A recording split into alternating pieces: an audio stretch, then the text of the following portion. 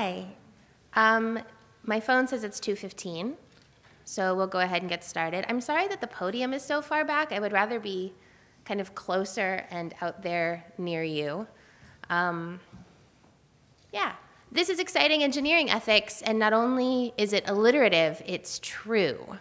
So uh, I am Nikki. Um, I'm a tech lead at Kanopi Studios, which is why I'm wearing their hoodie. Also, they're full of nice people. I'd probably wear it anyway.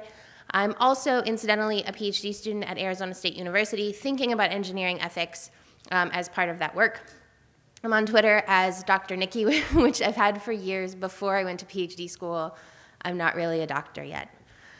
Um, a quick trigger warning we are going to be talking a little bit just in passing about the philosophy of death and killing versus letting die. So if that's stuff that stresses you out, just know that it's coming.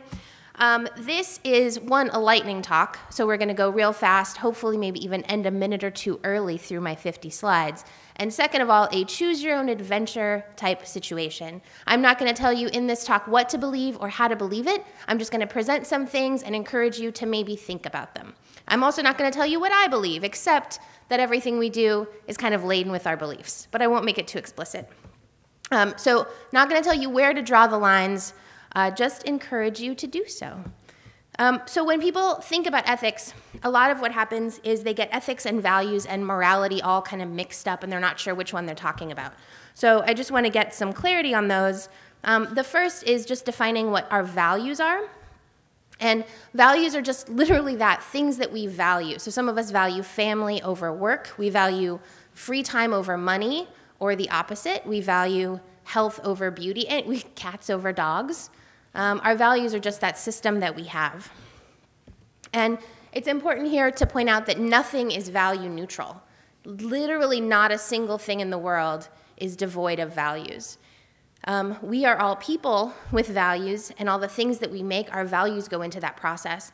Um, and so I think anyone who's ever sat in a stakeholder room negotiating homepage real estate knows that even something as simple as a website is really political right? And the, and the product that we make at the end has all those politics in it.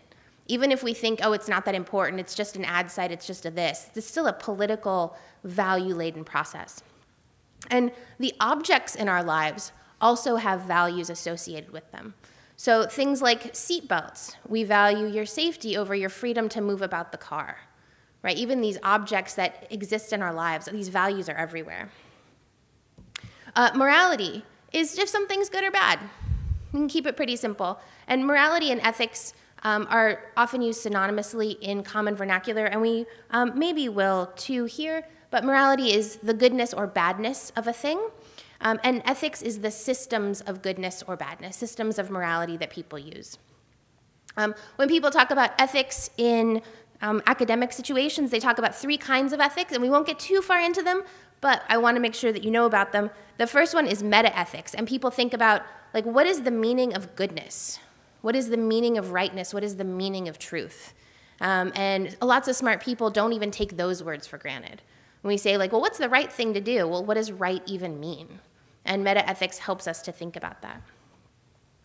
There's a field called normative ethics, which uh, is based on the word norms. Like, what, is, what are the expected things in a situation? So it helps us ask questions like, how should we ask? How should we act in the situation? What are the standards of right behavior? These normative um, sorts of claims. And the one that we're really going to be talking about today is applied ethics, um, which helps us answer questions which I think we think about a lot. What should we do when? What should we do if in these kinds of situations? So, why are we even here? Uh, one, because I think it's important to know that other people are thinking about this stuff. It's easy to feel like, oh my gosh, I'm the only one worried about big data. I'm the only one thinking about, maybe if you're not on Twitter, you think you're the only one, right? But it's like there's a whole community of people who are thinking about how to be ethical technologists. And it's important to connect with each other. Um, a smart philosopher says that if you um, don't have someone to talk about ethics with, it's really hard to be ethical. You need other people to bounce those things off of and to help you uh, situate yourself in what the good and the right is. Um, another way, reason that we're talking about this is so that you have um, a door into all of the smart writing that exists about this. Because I know when I started reading about ethics, I was like, this is for this is old and boring and doesn't apply to my life at all. And while that might be true, it's not 100% true. Um, smart guy named Hickman said, if we can't talk about our experiences, we can't do ethics at all. So all of us already have inroads into ethical thinking. And we're going to come back to this in a minute, but ethics is not the same as justice. And just because we might be doing something ethically, it does not mean we're being just. So here's another equation that knowledge equals power. This is both a like after school, the more you know sort of thing, but also something I think that we all know to be intrinsically true, right? People fight for education, and by virtue of having education, we have more power to do things. By virtue of going to school, civil engineers learn how to build bridges. By virtue of having that power, we then also have more responsibility. Because civil engineers know how to build bridges, they have the responsibility to build safe bridges.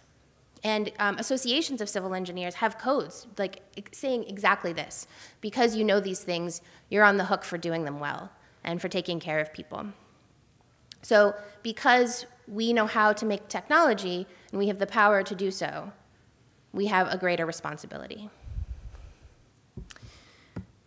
And that, by extension, asks this question of what is our ethical responsibility? Do we even, do we have one? Obviously, I'm saying yes, we do. So here's a famous thought experiment that I like a lot. It's called the trolley problem. You might have seen it in a meme. It got really popular a couple of years ago. So you are a trolley operator. You're that guy with the unhappy face. And here's a trolley coming. And on uh, one side of the track, the direction you were already going, there are five people tied to the trolley track. So if you do nothing, five people will be hit and killed by the trolley. If you divert it, only one person will be killed. Um, I'm not going to ask you which you would choose, but if you know which one you would choose, raise your hand. Okay, that's about 50, 50 60% of you are like, yes, I know which one I would pick. Uh, would your answer change if on either one of those sides it was your child or loved one or mother, right? How many of you would change your answer based on Okay, yeah, okay, a couple of you. Yeah, it's totally normal. Um, there's nothing right or wrong about that. Uh, but this is a classic ethical problem. Saying, well, what, what do our rules say we should do when we're in this sticky, artificial, but sticky situation? And one of the things that that taps into is this notion of active killing versus letting die. And we're going to understand maybe why we're talking about this in a minute, right? But one direction we're actively killing when we're hitting that one and the other, when we're hitting the five, we're just not doing anything. And oops, some people get hit. So, lots of smart people have thought about the answer to the trolley problem and have opinions about what the right answer to the trolley problem is. Um, and we are both physically and ideologically in a system of Western thought. Um, so, a lot of our most popular ethical theories are Western. But before we get into some of those, there are great books about Buddhist ethics, great books about black womanist ethics, great books about Islamic ethics. The um, famous Islamic thinkers started medical ethics, actually. Uh, great books about queer ethics, about Jewish ethics, about African ethics, both in the diaspora and specific countries. So if you identify with any of those over the stuff we're about to talk about, go check it out. There's lots of good stuff there. Um, when people here in the West, um, in North America, talk about ethics, they always start with Aristotle. They always go back to the Greeks. Um, Aristotle said lots of stuff. The main one was that he advocated a system of virtue ethics, which means that we don't need to we don't need to decide, okay, when you have one where you have five, you always choose five, here's the rules. Rather, he said, just be a good person. And he uh, outlined some virtues prudence, temperance, courage, justice. And he said, you know, if you're a person who has these, you're going to do all right, more or less. Then another guy said, hang on, we need to do our duty. And these are called deontological ethics, I think because calling things duty based sounds funny. So they call them deontological ethics, which is just a fancy word for duty or rules. And uh, a guy named Kant, who you might have heard of, uh, he was a big fan of this. And he said his kind of main thing was like, only if you're going to act in a certain way, it should be a way that's good enough that everyone could act in it. So only act in a way that everyone could do the same thing and the world would be good. Is kind of the core of that idea. Um, and the focus here, so the focus on virtue ethics is on the character of the person, and the, the focus here is on um, the character of the behavior. Is your behavior, the character of your behavior so good that everyone could do it? And the focus here on consequentialism is on the outcome. All that matters is the outcome of your action, the consequences. So, in that case of the trolley problem, which consequences are better? Um, and a subset of that is utilitarianism. And I know that we're getting, we're getting back to the exciting part. We're, hang on. Uh, utilitarianism, where we just need to maximize value. So, in that trolley problem, one dead person is better than five dead people, no matter what. So we always got to choose that one based on this system. And part of the reason that we're talking about these systems is because I think as technologists, we are used to thinking in systems even if we don't agree with them. We're going to use React as a JavaScript framework. We all know the rules, even if we don't like them. We're going to work within them and then leave it behind. And then we're going to try on another system and another framework, and we're going to work within that. So we're already primed to do this. We've been doing this for our careers, trying on frameworks, thinking through whether or not they fit us and setting them aside or keeping them. And so there, a, there's a ton of frameworks that you can pick up, saying, do I follow rules? Do I follow virtue? Do I choose consequences? So here's a question for you. Is Facebook ethical? Don't, you don't have to answer yes or no. don't everyone rush to answer. But if you have an opinion on it, raise your hand. Oh, all the hands, okay, almost all the hands have gone up. Um, great.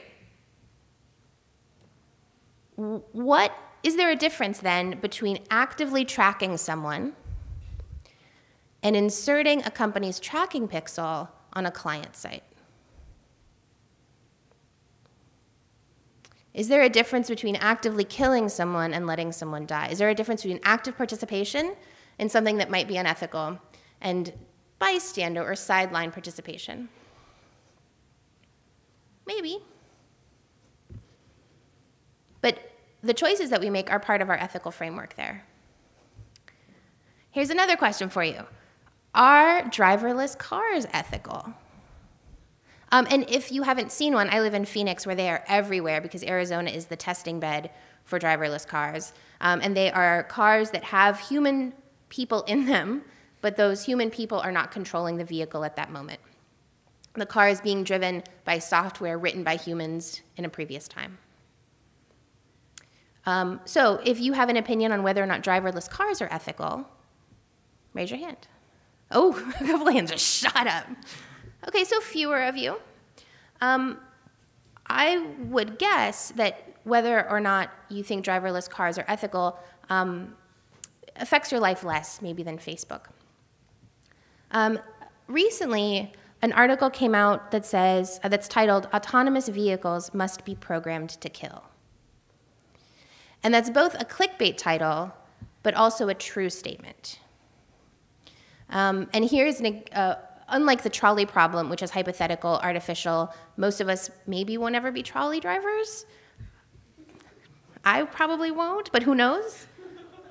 All of us have written or participated in the writing of software um, or the design, right? All of us are here because this is what we're doing, I think.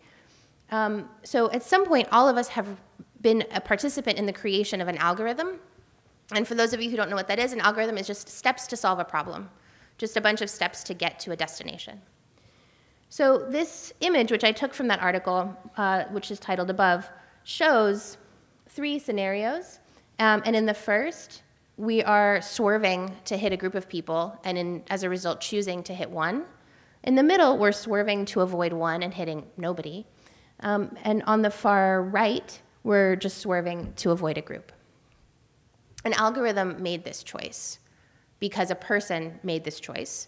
And because a person made that choice, they looked at their own ethical code and they put those into the software.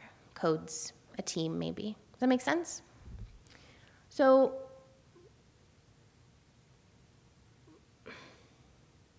So we can't pretend that we do not do political things and that we do not make things that affect real people. Um, here is another exciting but unfortunate thing. Uh, for those of you who maybe don't know, this is a picture of the Challenger. In 1986, the Challenger went up and the Challenger came back down about 80 seconds later, and everyone on it was killed. Uh, but before that happened, a guy named Roger Boisjoly knew that it was going to happen. And this is a classic case in engineering ethics. Roger Boisjoly knew that it was going to happen. It was a problem with the O-rings, um, which are fastener kinds of things on the, on the shuttle. Um, and he said, hey, y'all, if we launch when it's cold, those aren't going to work and there might be problems. And he said something and he said something and he said something and he said something. And eventually the vendor and NASA pressured him to be like, you know what, it's going to be fine. And we all know as a result that it wasn't fine. So he did something that was ethical. Right? He did something that I think most of us would say, like, yeah, that's the right thing to do. Like, like take a stand. But it happened anyway. Whose fault was that? Don't answer. It's not really one answer here. But it's a question I think that we ask ourselves well, who, who's to blame? Who's to blame for the autonomous vehicle that hit someone in Arizona two or three weeks ago? Who's to blame for Facebook? I bet you have opinions about that one. Who's, is, it, is it Roger Boisjoly's fault that the Challenger exploded, or is it the vendor's fault? Um, Roger Boisjoly, nowadays we would call him a whistleblower. Um, and I think that's a lot of what ethics is tied really closely. When we have an ethical problem and we say, okay, well, I'm going to take a stand, I'm going to stand up for something that I believe is correct and I'm going to protect people, and then we're like, well, there's going to be repercussions. And there are some repercussions for whistleblowers, but very few. And it's not, um, it's irresponsible to pretend like that's not the case. So uh, Dr. Jean Arrigo um, is a very smart woman and was one of the whistleblowers exposing psychologists' involvement in military torture. And she recently said that in order to be a whistleblower nowadays, you need to have a second career and an off, offshore bank account. Um, and she was already an affluent adult when she exposed, when she whistleblew. So here we come back to this idea that ethics is not justice. That just because you're doing something ethical doesn't necessarily mean you're doing something just. And the real truth that justice is not compatible with capitalism. I see some faces back there that are like, I don't know what to do with that. But I think that it's true. Because if justice were compatible with capitalism, the challenger wouldn't have gone up. That ethical, um, the, the driverless car wouldn't have hit somebody. Capitalism is driving a lot of these choices, and capitalism acts as a barrier to a lot of our freedom to make ethical, to take ethical stands. And I think that's something we have to acknowledge. We can't just pretend that we all have the freedom to be like, uh, I, mm, I'm going to say no to this and walk away and not have career repercussions, financial repercussions, other sorts of challenges. Yet, there's a little footnote down there that's like, yet here we are doing our, our darndest to engage ethically and to engage with justice on our minds in the ways that we make technology. So, I have a couple of questions. The first is to ask what's most important to you. And this is a value based question. And most people answer this with my family, my children, my pets, my career, whatever. You can take that answer. Doing good is a lot of one, um, a common answer. I want to do good. And say, okay, well, here's the thing that's most important to me. Does it support the code of ethics I already have? Because all of us already have one. We just haven't, a lot of us haven't articulated it. Um, a lot of us are already acting as though money is the most important thing, or safety, or social change, or whatever. And I think it's absolutely worth taking a moment to articulate that. Some engineering schools make engineers take a small, like business card size piece of paper and write their ethics on it. Three or four bullet points. Because you already know them. I see a lot of stressed out faces, like, I can't do that. But you already know what goes on that card. And I think what people find is that they don't either don't like what they honestly see on that card, or that having it written down helps them um, make better choices when the moment comes up. And this is something that we um, advocate in a lot of contexts. If you decide before you need to, then when you need to, it makes the moment easier. So if here while at DrupalCon, hopefully you don't have any major ethical conundrums this week, but maybe you will. Um, if you do, I would love to chat about them. But decide here at the con, okay, I'm going to be someone, hypothetically, who values um, social justice first, money second, and family third. Great. Then when you're in a situation, you can use that rubric uh, to make that choice. I'm someone who believes that the end justifies the means, which is a consequentialist or utilitarian based approach. Um, that approach gets a lot of bad rap. People use it all the time. I'm going to do whatever it takes to feed my kids. That's a consequentialist approach. Um, and then you have that. And then a couple of important reminders. The first is that you are not value neutral either. Just like the technology that you make, your values are with you all the time.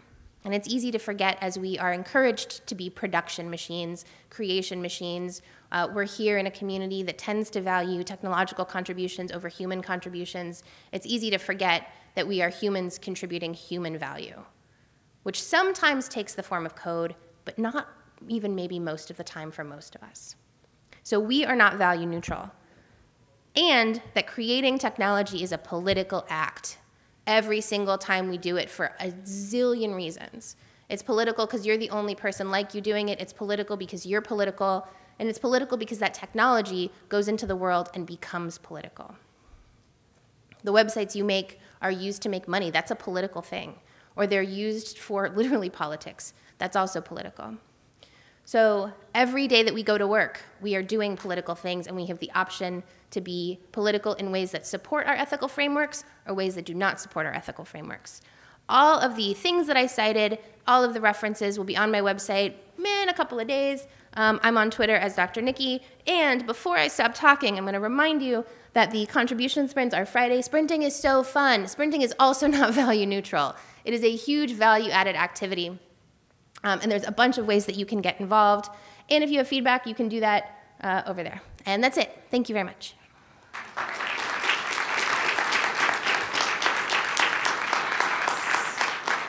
With three minutes to spare, I made it through 50 slides.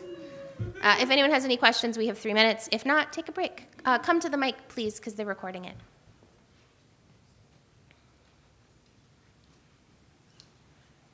You said uh, ethics is not just, or not justice. Not always. Not always. Yeah. Uh, you mean justice like human justice or justice like legal justice? Uh, I guess I mean both. Um, academically, we talk about three kinds of justice, like uh, distributive justice, getting everybody what they need, compensatory justice, making up for bad things, and then a third kind that's escaping me. Um, so ethics, what's that? Sorry, Do you know the? fair. Um, so, so all, I mean all kinds. Uh, so, so there are some, um, you know, in virtue ethics, for example, Aristotle explicitly calls out justice as one of the virtues, and he, he says. Yeah, that's what I meant actually, because justice is one of the virtues. Yes. But then you're like, without talking about it, you're talking about ethical justice and legal justice. For sure. Yeah, I, I smushed them together for the lightning talk. Be because uh, you say that whistleblowers are punished. Often. Yeah, yeah, by the legal system. Yes. And those standing by, they are not always saying that, okay, the punishment is by legal system, but intrinsically what the person did is okay from the ethical point of view. Yes, absolutely. So yeah. That's what I wanted to clarify. Yeah, no, I appreciate that. And, okay. and I was smushing all the kinds of justice into one word, and there's absolutely intrinsic justice and ethical justice yeah. um, okay. that exists. Thank you Thank for that. You. Anyone else? Cool. Stay for Eaton's talk. It's up next.